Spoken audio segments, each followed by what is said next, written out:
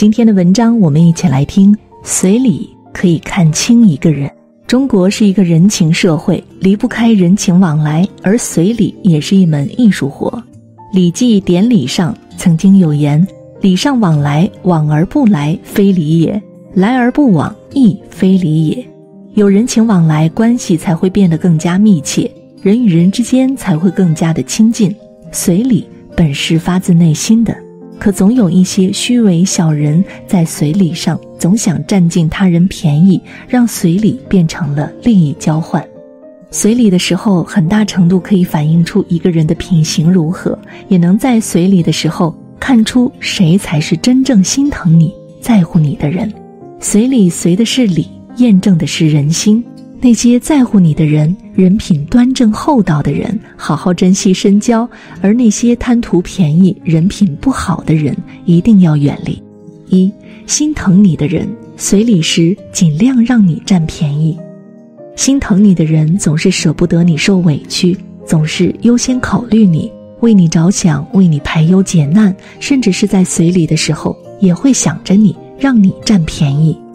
同村好哥们李明常年在外奋斗，对工作踏实负责，很快就升职加薪了，经济条件也变好了许多。李明虽然常年在外奋斗，但是村里有朋友哥们儿有喜事儿需要随礼，他永远都是最积极的。李明虽然不算大富大贵，但是每次都会多随一份礼给有需要的亲戚朋友。前阵子李明需要钱来创业。那些受过他帮助的亲戚朋友纷纷站了出来，打着随礼金的名义给他无偿随礼，帮他凑钱渡过难关。随礼看似是人情往来，却是实实在在的温暖与情谊。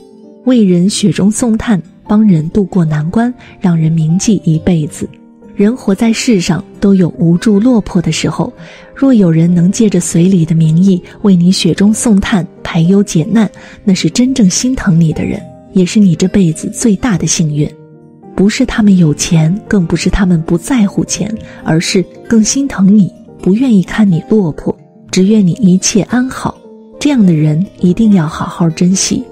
二，人品好的人随礼时不会让你吃亏，人情往来既是维系彼此的感情，也是互帮互助，给彼此送温暖。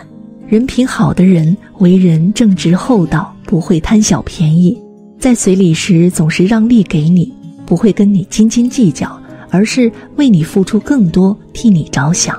若是接受了你的礼金，必然会找机会给你随更多的礼，只会加倍奉还给你，不会让你吃亏。礼金是人情往来的一个重要表现，随礼多少，你来我往，也是维系感情的纽带。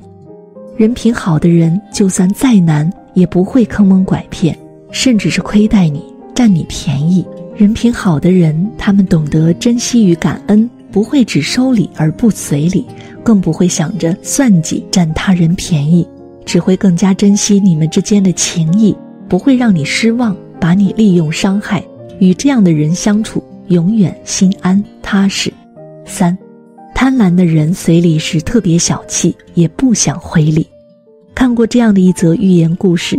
骆驼见牛炫耀自己漂亮的脚，羡慕不已，自己也要长两只脚。于是他来到宙斯那里，请求给他上一对脚。宙斯因为骆驼不满足于已经有庞大的身体和强大的力气，还要妄想得到更多的东西，气愤异常，不仅没有让他长脚，还把他的耳朵砍掉一大截。这个故事说明，很多人因为贪得无厌，一见到别人的东西就眼红。不知不觉，连自己已经具有的东西也失去了。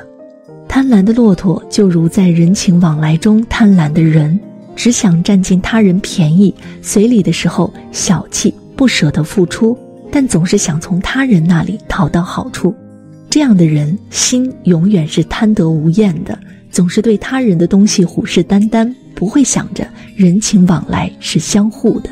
如此贪婪的人，或许一时能占得便宜。但长此以往下去，只会吃大亏，遭人嫌弃。